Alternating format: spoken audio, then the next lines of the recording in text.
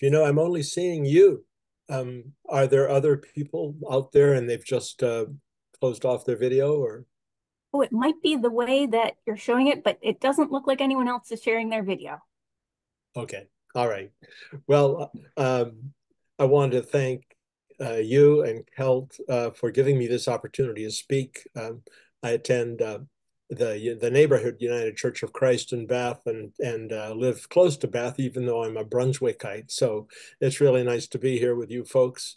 Um, uh, and I especially appreciate the fact that you're you're on a Zoom tonight. I think many of us have gotten zoomed out, and uh, I think that um, putting yourself uh, out there for an hour when you you don't really know what the program's going to be like. It can be a little dangerous so so thanks for that. Um, i want to just before i start the slide presentation tell you a story about uh, my sister-in-law who lives in harpswell in january um, she noticed that one of the heating zones in her home was not functioning and um, she was concerned so she called the company that services her oil boiler, oil burner. And uh, they came out and um, told her that she needed a new circulating pump. But when they went down to the basement, they discovered water all over the floor, and it was her hot water tank. Her hot water tank is um, is uh, you know the water in the tank is heated by the oil boiler, and it had failed, or uh, not completely, but uh, it seemed like it might fail completely and dump a whole lot more water on the floor. And they told her it would be $4,000 for them to replace that um, hot water tank and, and hook it up to the oil burner again. And when I learned this from her, I said, Karin, let's let's slow down a little bit here and see what if there are some alternatives out there. And we went to Efficiency Maine and and we checked.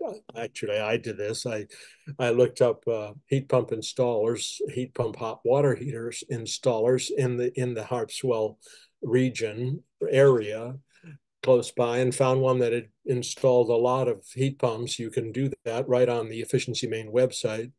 And um, she decided to call them up and they came out. And, and um, the net was that, that uh, she could uh, install a, a, heat pump hot water heater in her, in her basement, um, get it hooked up to the cir circuit breaker panel and um, uh, for for thirty seven hundred dollars, three hundred dollars less than it was going to cost to um, to do it with the boiler again. But that's still a lot of money, and um, I knew that her um, income wasn't great, so I suggested she call Efficiency Maine, and um, she found out that as a MaineCare uh, participant, um, that's one of the ways you can qualify for a free heat pump hot water heater and that's where it got it got kind of complicated. She really liked the the uh, contractor that came out and wanted to do business with him, and he was ready to install something in the over the next couple of days. Uh, whereas she found out if you went with the uh, free heat pump hot water heater, they had a waiting list going into stretching into well into February, and um, and you had to use the contractor that they provided, not the one that she liked. So in the end, she's she spent that $3,700 and she was ahead of the game because now she had an appliance that was very energy efficient. Um, but it's just a little bit of a lesson that when when you go into um, Efficiency Maine, the website, which is wonderful and very comprehensive, there's a lot of small print, and that's probably because the money came from the government, right? So um, I hope that uh, you guys, if you um, decide on a project you want to begin with, you'll you'll uh, be thorough, go in it with your eyes open, and um, and that's the point of the story. So let's open the slides now.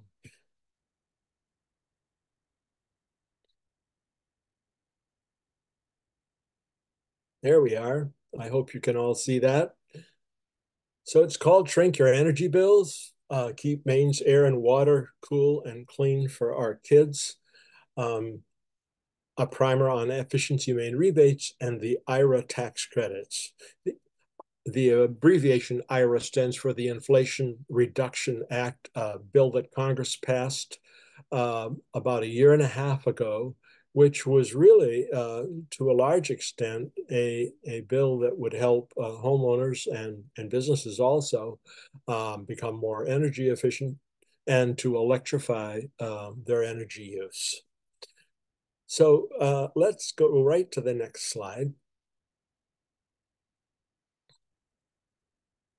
So here's a, a typical uh, Maine house, pretty modest, which is fine uh, and a map uh, of a, a, little upside down L shape out in the Gulf of Maine, which um, by 2050 uh, should become operational. Uh, by 2050, we will be using uh, about three times as much electricity as we are now in the state. That's according to Richard Silkman, who uh, was the founder of a company called Competitive Energy Services. He's a PhD. Um, and um, so this location is is about 45 miles off the coast of Portland. You won't see these turbines. Um, and there was just some exciting news uh, a couple days ago, maybe it was yesterday, that uh, they now have identified uh, Sears Island up in Searsport to be the uh, port uh, where uh, these huge machines will be assembled and then shipped out. Um, so these turbines could provide by 2050 uh, about 50% of all the electricity we use in Maine. So we're engaging here in a huge effort uh, to get ourselves off of fossil fuels and to um, uh, do what we can, do our share of what we need to do uh, on climate. Next slide. So uh, the Inflation Reduction Act is uh, full of uh, tax credits and uh, rebates that will help an, a homeowner um, save money on their bills and also be kind to the climate. So here's a, a nice looking home with some solar on the roof and probably well insulated. And God knows uh, our houses don't always look as tidy as that one, but it's um, it's a nice picture, and I I needed a good one for this one. So energy efficient electric appliances like heat pumps, upgrades to your building envelope. When I say building envelope, I'm talking about the walls, the roof, or the attic, the basement, places where you can reduce the intrusion of uh, cold air from the outside, and eliminate the heat loss that is uh, costing you money. About 20% of the energy that Americans use on average, homeowners, that is, is wasted. So there's an opportunity out there uh, to save money become, by becoming uh, more energy efficient. So uh, new or used electric vehicles are, are covered with rebates and uh, solar systems as well. And so let's go on to the next slide.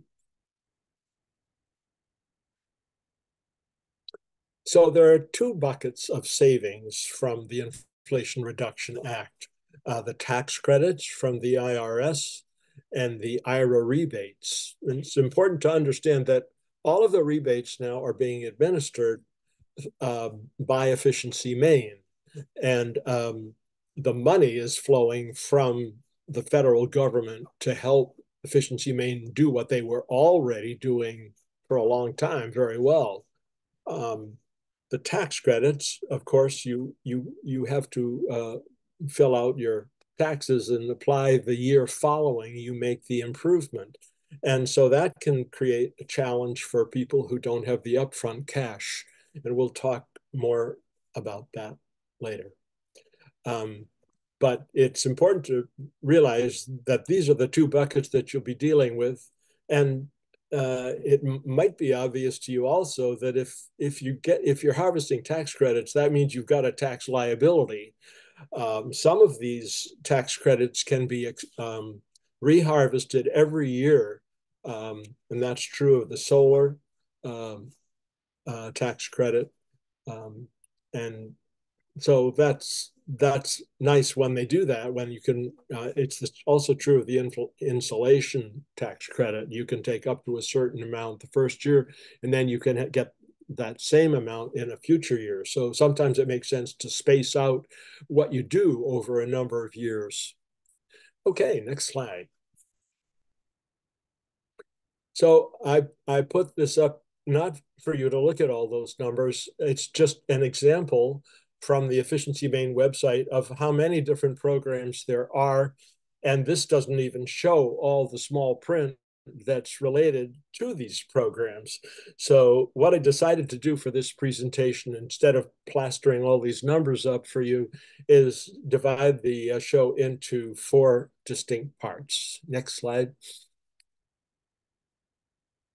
So we'll we'll talk a little bit about um, home improvements that you can make, including uh, heat pumps, uh, as well as uh, appliances. And then we'll talk a little bit about uh, weatherization, the idea of getting your uh, building envelope tighter, and then solar. And of course, it doesn't have to necessarily be on your own roof. We'll talk about some of the other options pretty generally, and electric vehicles. We'll end with that. Next slide. So we'll start with home improvements. Next. So these include, and we're talking about tax credits now from the Internal Revenue Service, heat pumps, heat pump water heaters, energy audits, exterior doors, windows, air sealing, insulation, battery storage for your home, uh, 200 amp or larger breaker panels, and electric vehicle chargers. All these are um, are uh, harvest tax credits, and sometimes you know the tax credit is a a percentage of the total cost of the item up to a certain limit. So it's not like they're paying for all this stuff for you, but they're giving you a discount. Next slide. So there are also Efficiency Maine rebates, and you qualify for the largest ones if your household income is less than 80% of your area's median income. Uh, you can find that out with your zip code, I'm pretty sure, on, on the internet. So those folks get the biggest rebates. And then between 80 and 150% of the area median income where you live um, the rebates are a bit smaller. And then there's the rest of us who are more well off, better off, um, who can still get rebates and um, as well, but they're not as generous. I like this about the Inflation Reduction Act because I think historically people have seen this kind of work as something only the wealthy will do. But the bill really wanted to help uh, those of us who were not so well off. So the amount you'll get also can vary with your family size, where you live. Um, some Efficiency Maine rebates apply to everyone, no matter what their income. So if there's one website for you to remember, and many of you I'm sure have probably already been there, it's the Efficiency Maine website, which has changed a lot over the last couple of years because of the Inflation Reduction Act. Um, there's a search bar near the top. And if you uh, are having trouble finding what you're looking for, go there. And if that doesn't do the trick, uh, call their toll free number. They're right here in Brunswick. Um, and they are open uh, weekdays during the daytime, Monday through Friday, but they're not open on weekends.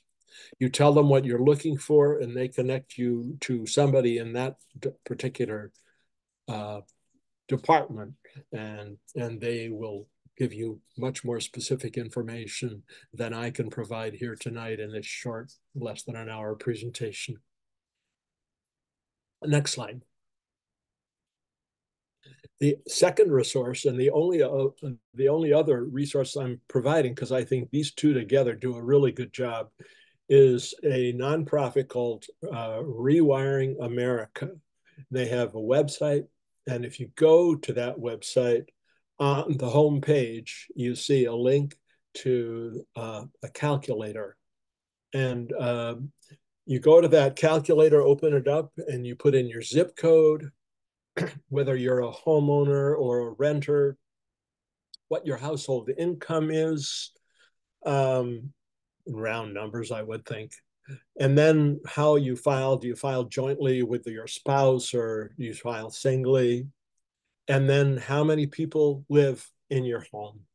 And then you click calculator, uh, calculate, excuse me, and up on the right side of this slide pops a list of the tax credits you're avail available, uh, you're, you're eligible for. Now, I don't think this is the best place to go for rebates because Efficiency Maine uh, does all the rebate work from the IRA for the state of Maine. Uh, but this is a great place to find out about the tax credits. And there's a whole lot more on this website that you might be interested in exploring, which we don't have time to do tonight. So next slide. So let's talk about home appliances and getting rid of gas. This has become a bit of a political football, uh, but it's important to understand that when gas is burned, it releases carbon dioxide, the main driver of climate change. I'm, I'm not uh, talking about, I, I am talking about natural gas, but the word natural implies that there's something healthy and wonderful about natural gas. And in fact, uh, most of uh, natural gas is methane, which is one of the fastest causes of, um, of the global warming, the heating in the atmosphere that we're experiencing. Methane pollution from gas stoves is roughly equal to the impact of 500,000 non-electric cars on the climate. So you can see um, burning that stuff does have a pretty big impact. Next So electric appliances don't burn gas, so they don't release carbon dioxide or methane. Uh, high efficiency appliances like induction ranges use less energy than conventional ranges. My wife and I bought a an induction range during the COVID period. It was expensive, uh, and you can spend huge amounts on them if you if you have the money. Um, ours was a little over $2,000, whereas a similar range that wasn't an induction range would have cost in the low thousands, like 1200 But it's been a, a really good purchase. Uh, we love uh, how, how quickly it responds and how sensitive is to slight changes in temperature. Um, it's, it's important to understand that the induction piece of this technology on a stove is only for the range top, not for the oven. The oven is a conventional oven. Next slide. Uh, when it's time to upgrade your appliances, um, I'm here to advocate that you go electric, um, and for a number of reasons. Better indoor air quality, um, induction cooking is fast and precise, as I just said. Heat pump water heaters cost much less to operate than conventional electric models. And heat pumps for space heating can harvest energy savings, uh, even if you're still heating with oil, which most of us are. About 60% of uh, homes in Maine are still heated by uh, oil. Next slide. Oh, and I, I should have mentioned in that last slide, jump in when the time is right. Um, as I said earlier, when I told my story, it's important. Uh, you know, we Mainers, we we like to use things up before we we buy something to replace them. Um, it's just a, a good uh, habit to to be conservative about what you get and, and saves you money over the long run. Uh, although if something's really energy efficient, you know, and you can and you have the wherewithal to do it a little sooner, that might make sense. So here's a breaker panel in somebody's basement. You can get a 30% tax credit on the labor and the materials for upgrading it. And if you're if you're going to electrify your home with more um, electric appliances, uh, which will save you money over the fossil fueled ones, um, you might have to do this there is a $600 limit on what you can take the tax credit on. Next slide. So uh, let's take a little break from appliances and just look at what what is up there. For those of you who have not been to the Efficiency Maine website, this is the picture to look like, uh, to look for. The, the lady happily knitting in a cozy living room. Um, and there's a whole bunch of information up here. Next slide. So this is their heating calculator, cost of heating calculator. Um, you can find this on your website uh, if you're diligent. It's a little hard to find. And each blue bar here is showing you the annual cost of heating in an average Maine home with these different sources of heat. And I've flagged with red arrows the oil boiler in the middle, um, which on average will cost you, and this these figures come from January because they constantly update these figures every month, um, 3,373 bucks. And uh, a heat pump, uh, a, a, ductless heat pump, um, air source heat pump uh, mounted on the inside and outside of your home is the second bar over there at 1698. Now, this is not really a fair apples to apples comparison because the oil boiler is probably sending either hot air or hot water to radiators all around your home.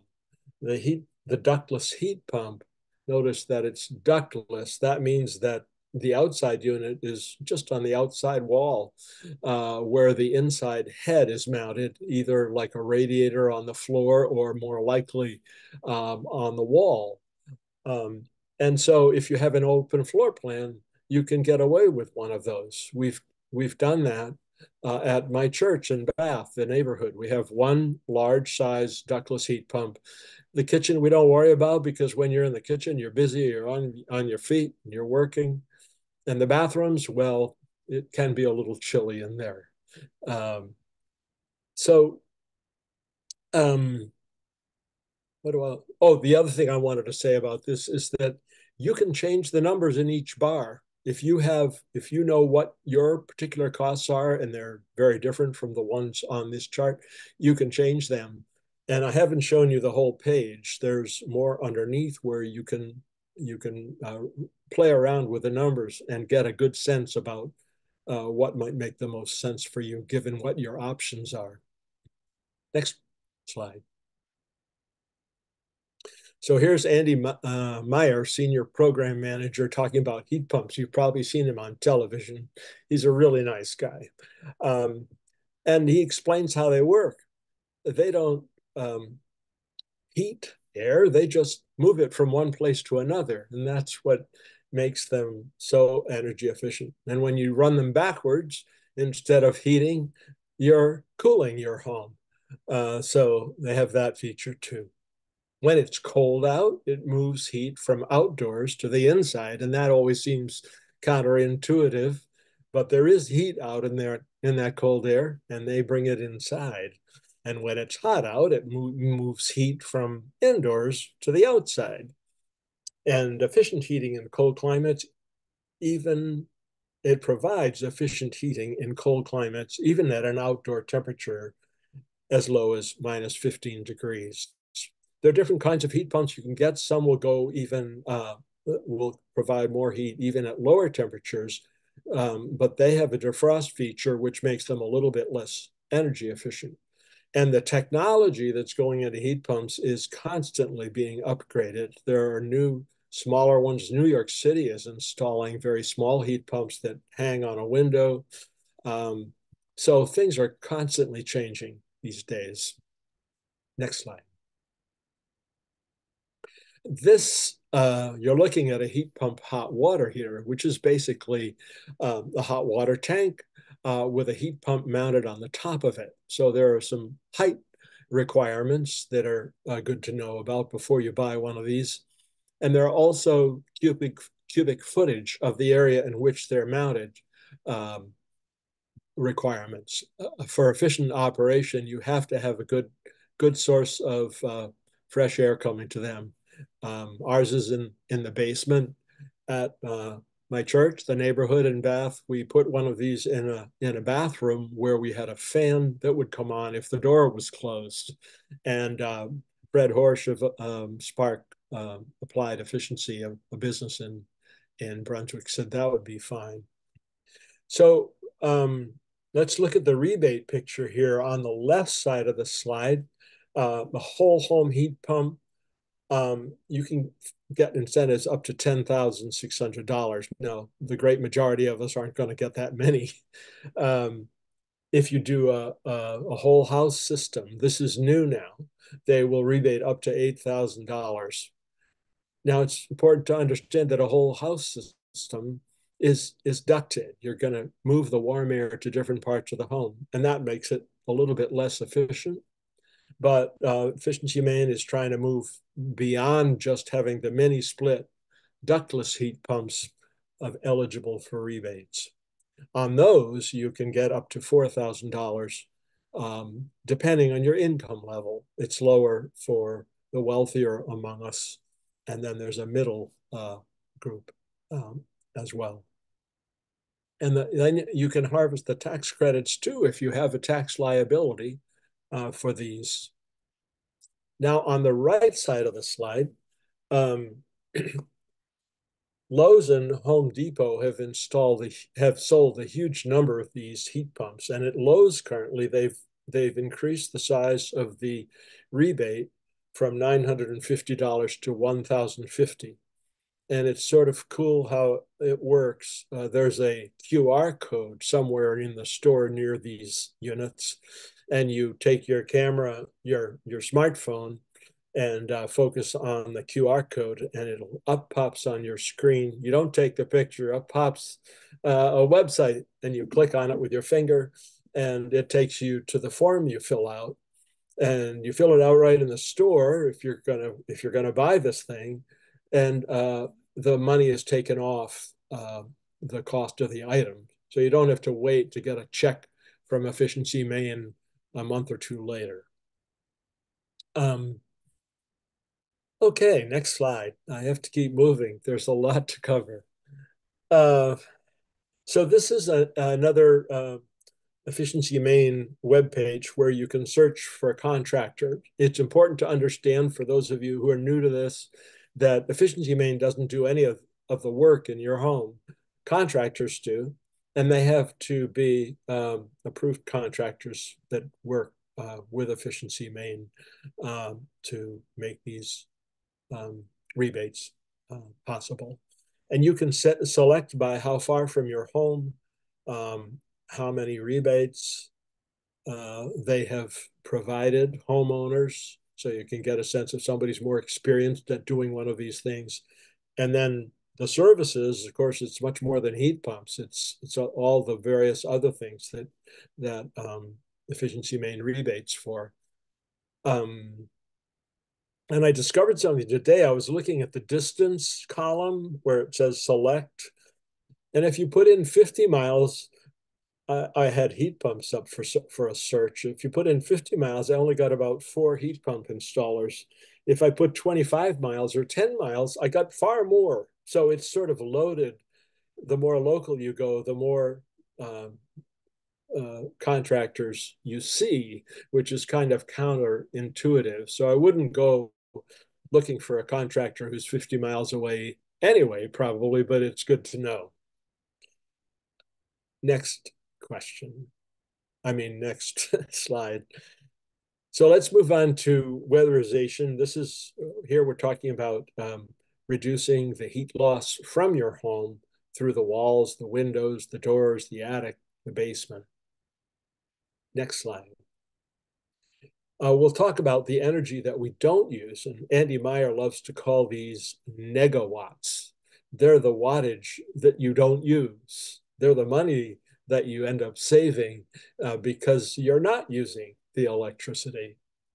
So, how do they help the climate? Well, most of us, many of us at least, are still using oil or gas or propane. And we can at least use less if our homes are tight it's a great place to start, in my opinion. Some people say that you should always start with an energy audit. Andy Meyer disagrees. He thinks you should do what is most important to you, whatever it is. Um, but uh, reducing the amount of energy you're using, for instance, can make sense to do uh, with insulation and air sealing uh, before you size a heat pump uh, because you might not need uh, the larger, more expensive size if you've already made sure that your home is tight. And cleaning up the grid will also be easier the less energy we need. So Maine is trying to get uh, the grid cleaned up. In other words, I think that's a euphemism for getting off of, of fossil fuels. But um, solar and uh, hydro, um, I'm getting tangled up here in my language, but I think that it, our grid is, I just wanted to say that the Maine grid is pretty clean already. Uh, there's, uh, I think, no coal being burned for Maine or very little in our energy supply. Um, and then our, our the main fossil fuel used to generate electricity is is natural gas, which of course is is cleaner than than oil, but it's still a a uh, pollutant because of its methane content. Um, and of course, the other thing I wanted to say from this picture is it it looks pretty chilly in this picture, and a lot of people have this notion that that if you um, want to be energy efficient, you just turn down your thermostat, and that is not what I'm peddling tonight.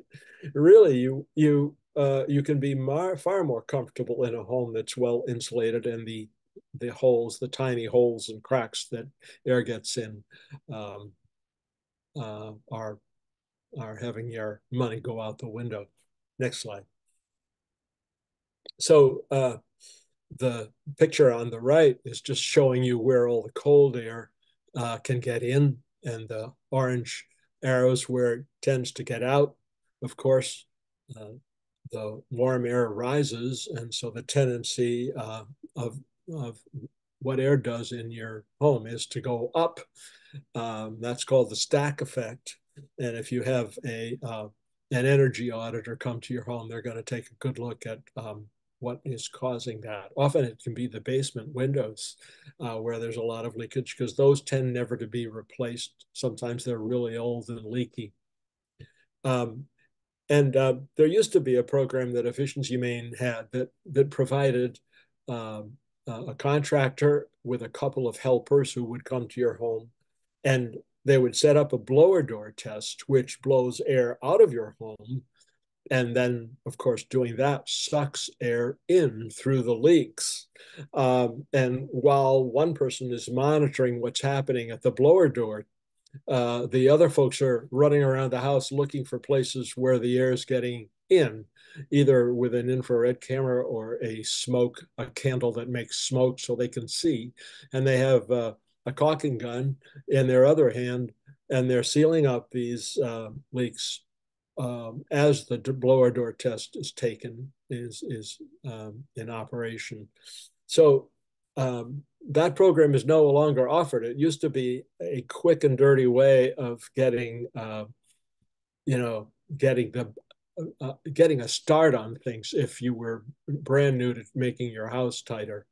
I checked with Efficiency Maine today, uh, and they don't have that program anymore. They just uh, have the in, in the insulation rebates.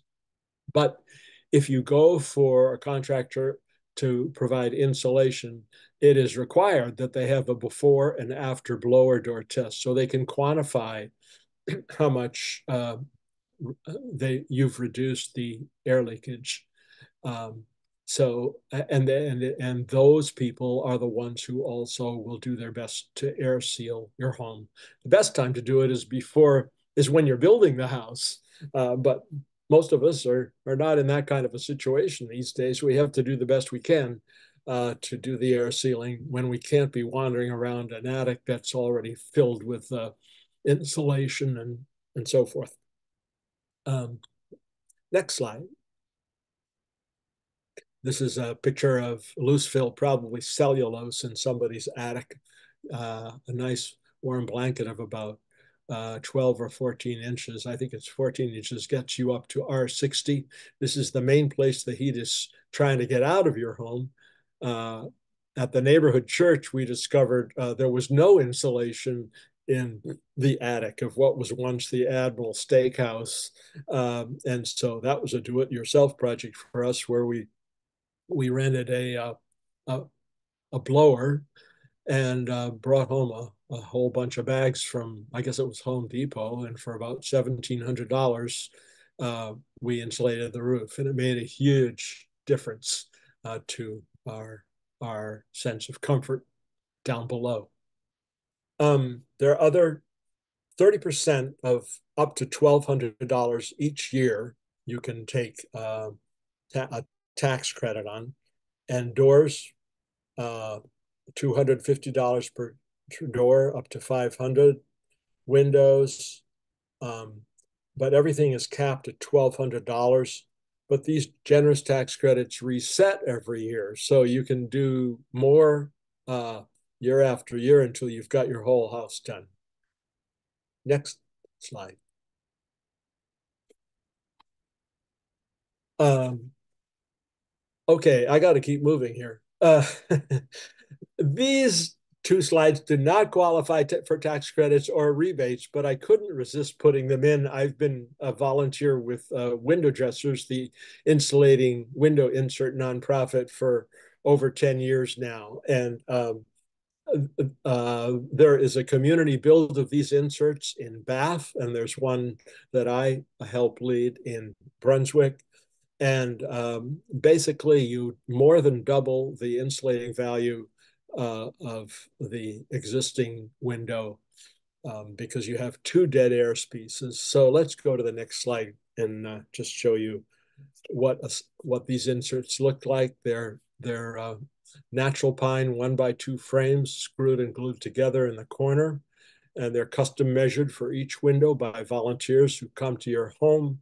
And then uh, the uh, frames are cut and all the materials are shipped to your town uh, where Paul Perkins and his friends um, put together these inserts um, over the course of about five days. And uh, in five days, if you have a, good crew, you can build up to 300, um, 250, 300 of these things. Um, and you can store them in the in the summer, take them out. They're long lasting. They'll last for about 10 years, and then you can bring them back and we'll rewrap them for you for $15 an insert.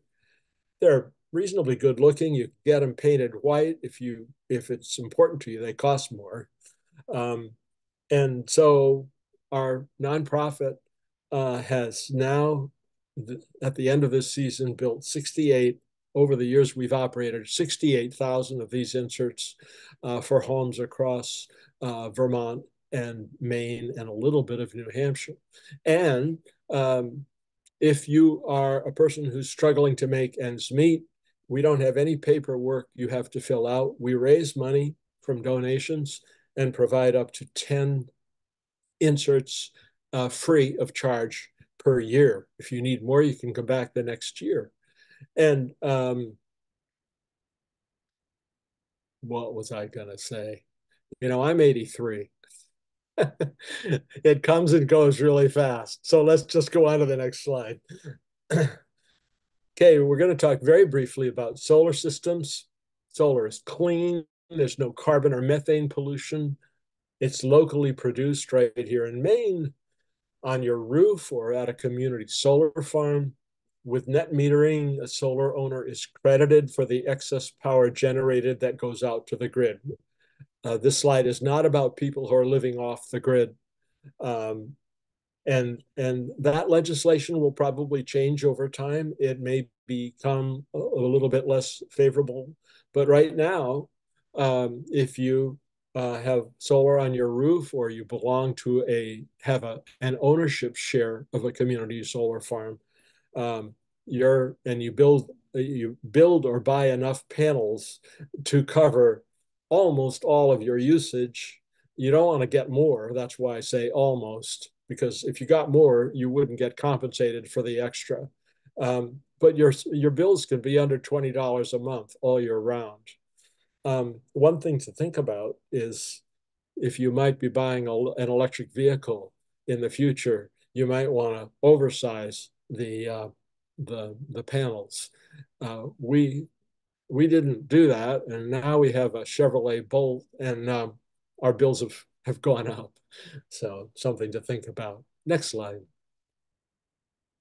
Um, so this tax credit will be available to 2033, um, and you can deduct 30% of the cost. And uh, the tax credit can be carried over from one year to the next. Um, so it's a big project and it's an expensive one. Um, but if you're planning to stay in your home for a while, uh, it can really save you money over the long term. Next slide. This is a guy who's installing an inverter. Solar panels make DC electricity and your house uses AC electricity. So you have to change the uh, the the uh, direct to alternating current. Um, a few things you need to be careful about. You need to make sure you have uh, the right to install on your roof. There might be zoning restrictions. In Bath, uh, when we applied for the uh, solar install on our roof, um, we discovered to our um, dismay that uh, we were in a historic district right there at the corner of Washington and Center and uh, solar panels that were visible from the for, from the street in a historic district were not um, allowed.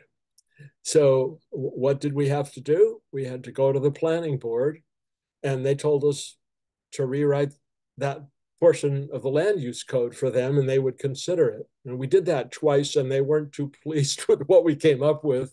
And eventually they took on the task of, of drafting the ordinance, uh, a revised ordinance that allows, under certain conditions, uh, solar panels visible from the street in the Bath Historic District. So our project took, um, we started raising money long before we were ready to get these up. But they went up in 2021, and since then, our our bills have been very low. Next slide. Um, solar panels will uh, pay for themselves in in Maine in roughly nine to 12 years. Um, but they'll function for 25 or 30 years or even longer. Um, with the speed at which technology is changing, sometimes it's you you have to wonder whether do I jump now or do I wait for something even even glitzier that's going to come along that will do a better job for me in a few years. So that's that's a hard decision and it's worth thinking about. Next slide. Uh, here we are celebrating our panels on our south facing roof. Now we have torn out our asphalt and we're going to do a native garden around the church. So we're very excited about that. Um, financing options, since this this particular uh, array cost $23,000. And after we had gotten to about the $7,000 mark over several years of fundraising with uh, bake sales and auctions and that kind of thing, we realized it was going to take forever. So we um, we uh, found four lenders. Three of them were in our congregation, and one of them was my nephew. and they lent us the money to put these up. And we had an agreement we would pay them back in over five years at 3% interest, one annual payment each year. And now we only have two years left uh, on the payments and will own the solar system free and clear. But you, as a homeowner, if that's what you are, uh, should certainly consider something like a home equity line of credit or some other kind of loan. Efficiency Maine Lake makes loans, I think, at about 5%. Um, so the equity line of credit might be better, but um, it's something to move on because you're saving so much money um, that helps to pay for the cost and makes it significantly more affordable if you do it sooner rather than later. At least that was our rationale. Next slide. So we're here to the last section, electric vehicles, um, which are also a bone of contention these days. But I'm going to uh, advocate for them. I own a Chevrolet Bolt um, EVs cost less than a gas vehicle to operate, less about less than half. There's reduced maintenance, fewer moving parts, no oil changes. Uh, yes, I do read about uh, Teslas having to be recalled and that kind of thing. Uh, but my Bolt has been perfect. Uh, absolutely no problems. Just rotate the tires every 5,000 miles. And there's another uh, old wives' tale out there about tire dust, which I think is unwarranted, but we don't have time to talk about tire dust tonight. Um, we charge ours overnight at home in the garage. The uh, it, the circuitry for that was installed free of charge and paid for by General Motors. I don't know if they're still doing that. Unfortunately, they don't make the Bolt anymore. It was one of the cheapest electric vehicles out there, but they're going to introduce a new one, uh, a new version of it in 2025. I'm frankly dismayed by the number of expensive electric vehicles. Um, I I think it gives them a bad reputation, and I wouldn't buy one of them. They're too expensive. Uh, if you feel the same way, uh, buy yourself a Leaf, a Nissan Leaf with slightly older technology and shorter range, or uh, or wait for the next Bolt or something equivalent to come out. Um, we charge it overnight at home. At winter time, we get much less mileage. This morning, it was 156 miles of range we had but the average American uh, only drives uh, 30 or 40 miles a day. So uh, most of us can do quite nicely with a Bolt if we're careful. I wouldn't. I if I only owned one car, I wouldn't own an electric vehicle yet. Maybe in three or four years I would because battery battery technology is is really coming along very fast. Uh, but um, we have a second car for those trips to see our family in Connecticut, and so it works for us. We drive the Bolt uh, most of the time. My wife can hardly give up the keys to me. She likes it so much, and she was the one who didn't want it. anyway, they're fun to drive. Um, they're cleaner, fewer emissions, and it's a good feeling to drive by the Mobil station and not have to stop for gas. Next slide that's not my car, but it's the slightly smaller version of the same car. There were two two models that were available. So 54% of our carbon pollution in Maine comes from transportation. Five tons of carbon dioxide is emitted from a gas vehicle, more than four times the amount emitted from an electric vehicle charged from the New England grid. And if you if you have solar, um, you're not emitting anything. Of course, there are emissions from uh, building the car, as there are with all cars. And um, there's a huge health benefit if we electrify our transportation system. Um, you can see the statistics down at the bottom, uh, which I won't read now, but they're significant. Um, and that Bolts in the picture uh, before they stopped making them a few months ago um, would with the uh, seven thousand five hundred dollar tax credit was under twenty thousand dollars, brand new with a good safety system in in them. So um, there are less expensive options, and there will be many more in the coming years. Next slide. Um, this is about range. I'm going to skip that because we've gone too long.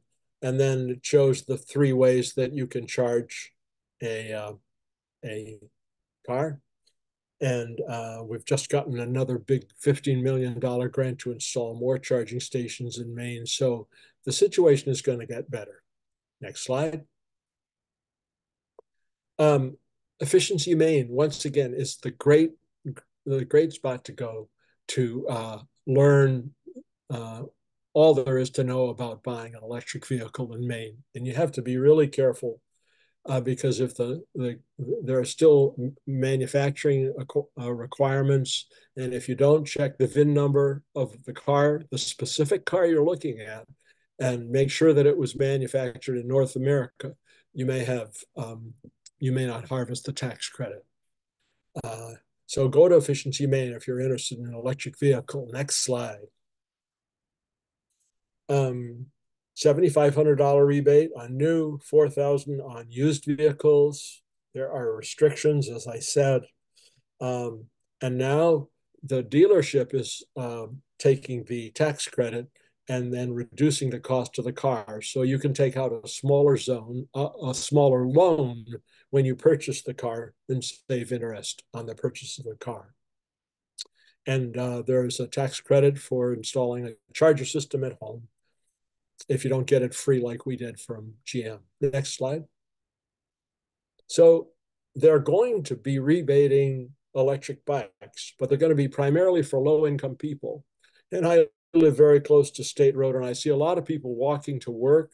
And I hope that these uh, this benefit will be designed for people with low income, so they can afford uh, a more reasonable way to get work in this get to work in this cold weather. Next slide. So, a lot of opportunities for you to think about. Um, uh, let's electrify everything we can and be good good uh, residents on Mother Earth. And let's tighten up our homes and enjoy more comfort. Let's look at solar options and see if we can make something good happen uh, for ourselves and for our communities. And and even look at electric vehicles if you uh, if you haven't yet. It's pretty exciting. Um, and just think in steps. Don't try to do it all at once. Do a little at a time. The church started in 2017 and we're still at it. So you don't get it all done in one year unless you're a millionaire. Next slide. So where to start? I would say pick something that you know you really need to do. And remember uh, to be aware about uh, moisture in homes. If you have a moisture problem, be sure that you check with an energy auditor or an expert and remediate that before you make your house tighter. And then make a plan and, and take your time and go one step at a time. Next slide. So these are the two websites uh, I told you about, Efficiency Maine and Rewiring America. That's all you really need to get started. Next slide. Uh, so thank you very much for listening to this yak of mine. I hope you got something out of it. Um, come by one of our Midcoast South chapter meetings. We meet every month here on Zoom. Uh, so it's easy to come from your home. Um, and we're not live, so I can't invite you to stop by our table, but um, check us out on the web. And uh, thank you again.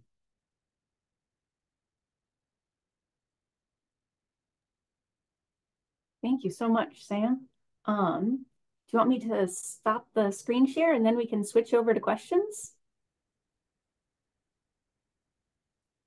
sure. That. All right. Um, so we have, I'm just, uh, all right. So we have some questions that people have already submitted and we'll start with those. Um, if you have a question, feel free to stick it in the chat and we'll ask it um, as they come in. So let's see, our, we had a number of questions that came in earlier about heating. Um, one was asking if there's an annual limit to the tax benefit from heat pumps, and if that's one of those things that could be installed over a couple years. Could you repeat that? I didn't get all of it.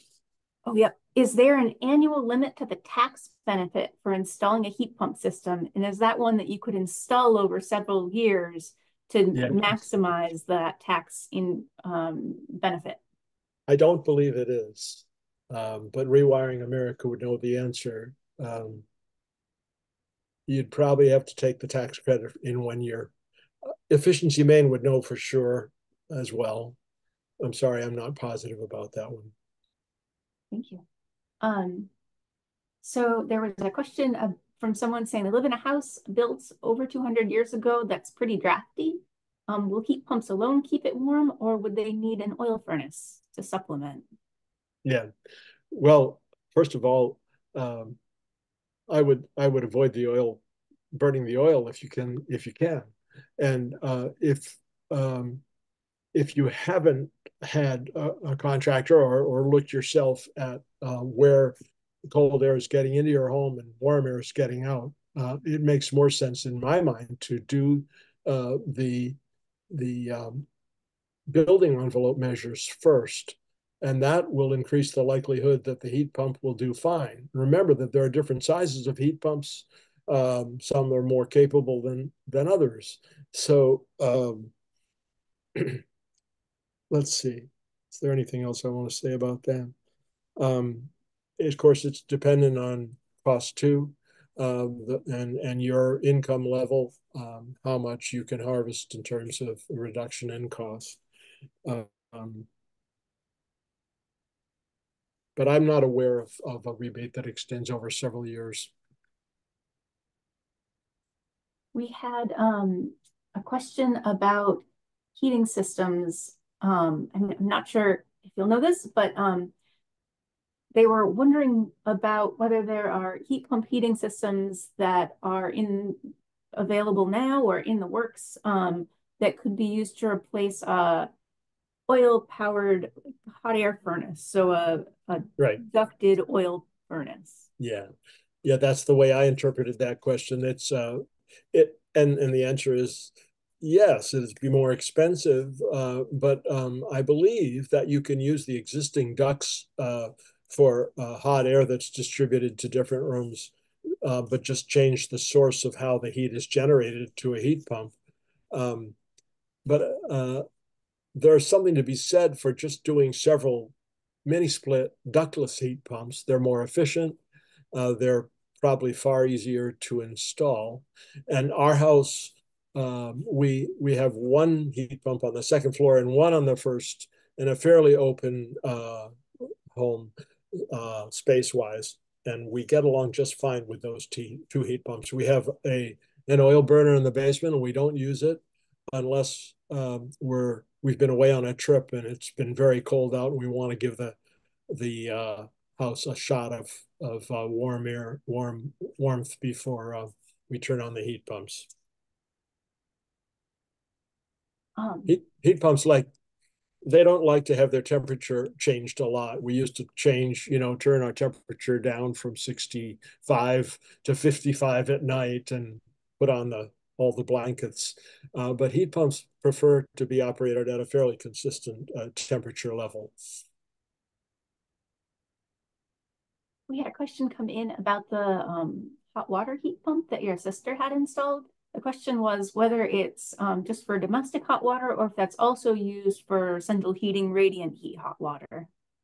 Yeah, I think that's an area of uh, research now, and maybe there are some folks uh, who are doing that, using a heat pump to heat water for uh, for a radiant floor or something like that. But no, I think uh, the current technology doesn't go in that direction. It's just uh, for heating domestic hot water, which you run out of your taps.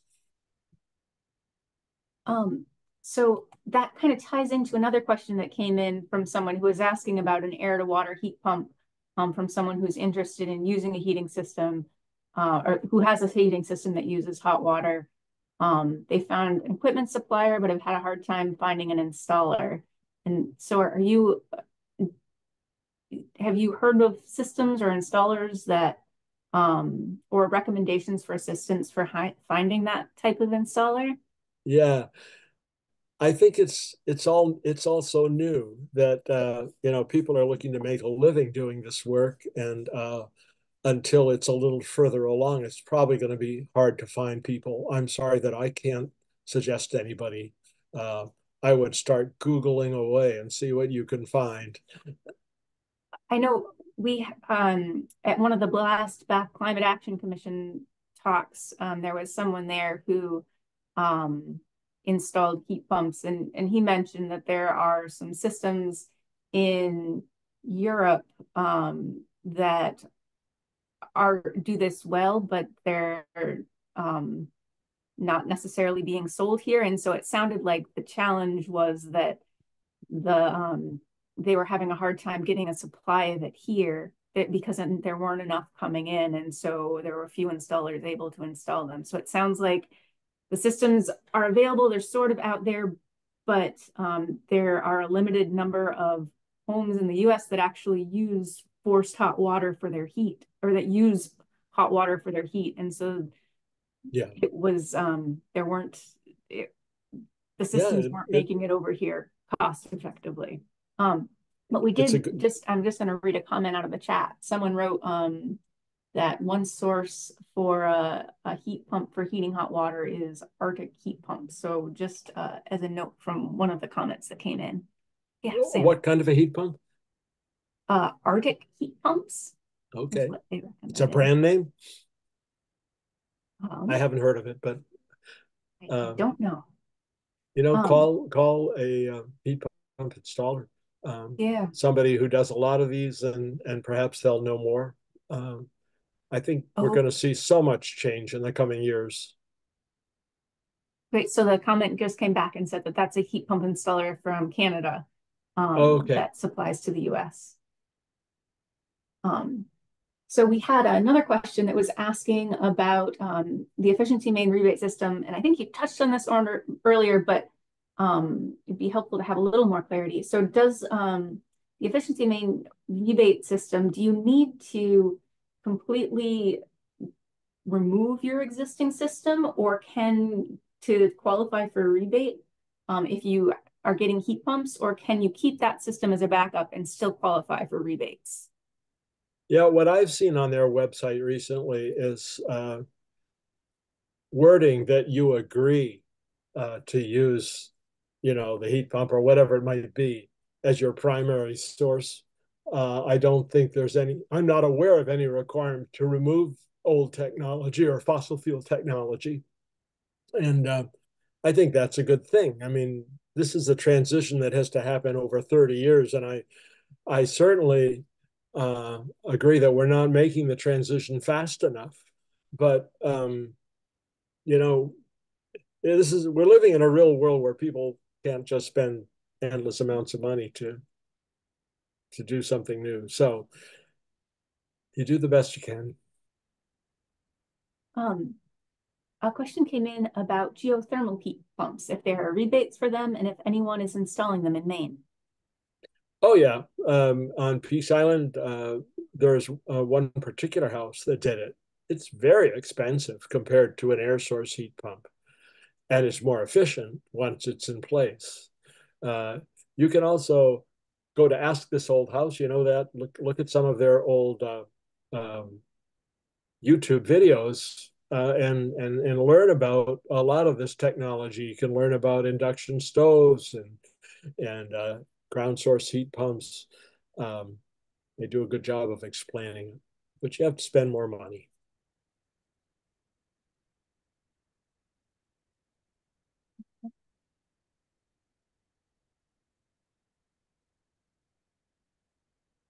Let's see, there was a question that had come in the other day about um, whether there are window treatments other than um, inserts or window quilts or any other type of window treatment that you'd recommend? Yeah. All I know is uh, that the commercial uh, companies that provide inserts are three times the cost of the WindowDressers inserts.